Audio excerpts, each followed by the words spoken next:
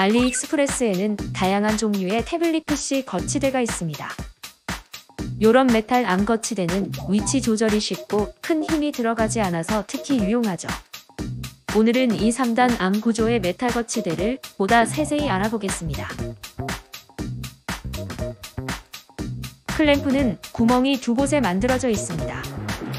보다 다양한 방식으로 설치가 가능하다는 이야기죠.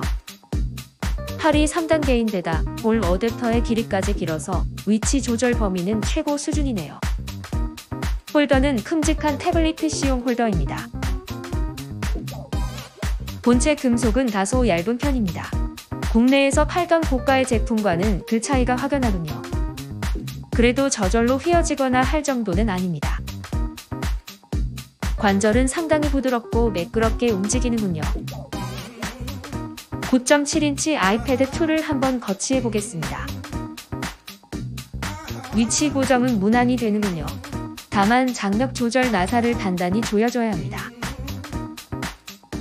그런데 천원마트에는 이것보다 많이 저렴한 메탈 거치대가 하나 판매되고 있습니다. 바로 이 제품인데요. 요즘엔 2,500원에 판매가 되고 있더군요. 이 제품은 가격이 저렴한 대신 홀더는 없고 본체와 클램프만 있습니다. 일단 클램프는 구조가 좀 다르군요. 구멍이 한 군데밖에 없습니다. 본체를 살펴보겠습니다. 팔이 2단이라서 위치 조절 기능도 단순한 편입니다. 그럼 앞서 본 제품과 비교를 해보겠습니다. 아니 그런데 끄트머리 부위를 제외하면